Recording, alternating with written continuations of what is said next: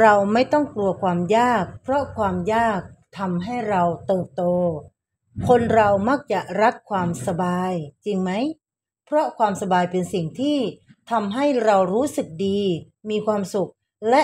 อยากจะอยู่สบายๆไปเรื่อยๆ แต่ทราบไหมว่า การที่เราอยากเติบโต และอยากประสบความสำเร็จในชีวิต ซึ่งเป็นสิ่งที่เรายังไม่เคยทำได้มาก่อนนั้น เราจำเป็นต้องผ่านสิ่งต่างๆ ที่ยากลำบากและเป็นสิ่งที่เราไม่เคยทำมาก่อน และเมื่อเราผ่านมันไปได้ เราจะรู้สึกว่าเราเติบโตขึ้น และประสบความสำเร็จมากขึ้น แต่ก่อนที่จะไปถึงจุดนั้น สิ่งที่เราจะต้องทำก็คือ จะต้องผ่านความยากผ่านสิ่งที่ทำให้เราไม่สบายกาย ไม่สบายใจ ต้องทำในสิ่งที่ยากและสิ่งที่ เราไม่อยากทำเพราะเราต้องการความสบายแบบเดิม แต่ถ้าเราสามารถฝ่าฟันความรู้สึกสบายไปได้ เราก็จะประสบความสำเร็จได้เช่นกัน และนี่เองคือความแตกต่างของคนที่ประสบความสำเร็จกับคนที่ไม่ประสบความสำเร็จ ข้อที่หนึ่ง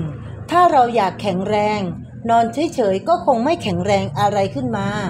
สิ่งที่เราต้องทำก็คือ ออกกำลังกาย ซึ่งเป็นสิ่งที่เรารู้สึกว่ามันยากลำบากเหลือเกิน อยากนอน อยากกินมากกว่า 2. ถ้าเราอยากเก่งภาษา นั่งเฉยๆก็คงไม่ได้ทำให้เราเก่งขึ้นมาได้เลย เราก็คงต้องทนความลำบาก ตรงที่เราต้องอ่านหนังสือ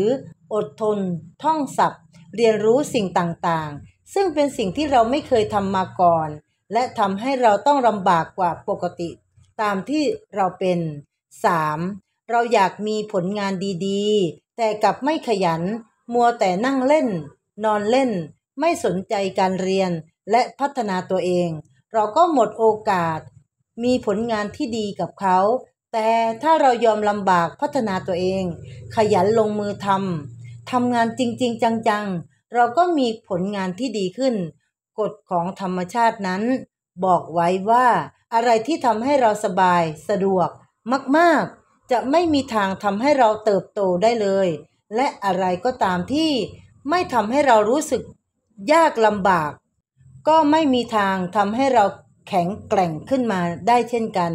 ดังนั้นเหตุการณ์หรือการกระทำอะไรที่มีแต่ความสบาย มีแต่ความง่ายง่ายเรื่อยๆ ก็ยิ่งมีบทเรียน มีปัญญาและมีการเติบโต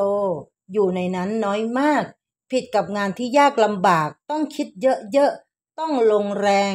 ต้องทำในสิ่งที่ไม่เคยทำมาก่อน และเป็นงานที่ทำให้เรารู้สึกยากลำบากกว่าปกติ นี่แหละที่มีปัญญาซ่อนอยู่ มีบทเรียนใหม่ๆ ให้เราได้เรียนรู้ ดังนั้นการทำงานแบบเดิมๆ ซ้ำๆ โดยที่ไม่คิดจะเปลี่ยนแปลงหรือปรับปรุงงานให้ดีขึ้น เพราะมัวแต่คิดว่ามันทำให้เราลำบาก และไม่สบายเหมือนเดิม ถ้าคิดแบบนี้เราก็หมดโอกาสเติบโตอย่างแน่นอน มีงานวิจัยชิ้นหนึ่ง จากคณะจิตแพทย์มหาวิทยาลัยอีกลินอยประเทศสหรัฐอเมริกา ได้ทำการวิจัยโดยทำลูกหนูหลายๆ ตัวมาเลี้ยง แยกเป็นสองกลุ่ม กลุ่มแรกเป็นหนูที่ถูกเลี้ยงอย่างราชา คือได้รับการเลี้ยงดูอย่างดี มีสิ่งแวดล้อมที่ไร้ปัญหาและอุปสรรคใด ๆ ทั้งสิ้น มีข้าว มีน้ำ มาบริการถึงที่ ส่วนหนูอีกกลุ่มหนึ่งถูกเลี้ยงอย่างทรหดอดทน คือ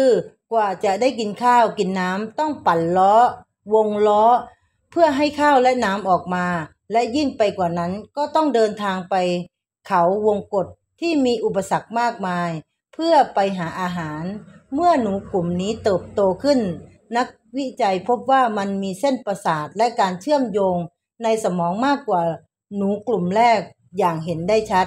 นอกจากนั้นยังเห็นปลายประสาทของหนูกลุ่มที่สองที่แตกหน่อไปอย่างสวยงาม ในส่วนต่างๆของสมองอีกด้วย ซึ่งในทางจิตวิทยานั้นจำนวนเส้นประสาทคือ เครื่องบ่งบอก ระดับสติปัญญาที่แม่นยำที่สุด ดังนั้น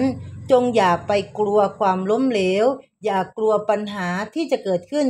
อย่าไปกลัวความยากลำบากเลยครับ เพราะสิ่งเหล่านี้จะทำให้สมองของเรา